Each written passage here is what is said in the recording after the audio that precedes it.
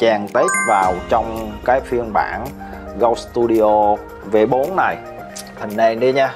Bây giờ chúng tôi sẽ à, sẽ cho test. Ok, test đây. Mình sẽ cho là xin chào các bạn. Chúng ta có thể là để như thế này cũng được, nhưng mà tốt nhất là chúng ta nên cho nó có hiệu ứng animation là chuyển động nhé các bạn à, theo chuyển động từ đây qua đây. Nhưng mà tốc độ các bạn thấy không? Tốc độ 0.5 thì tốc độ rất là chậm. Bây giờ chúng ta sẽ tăng lên.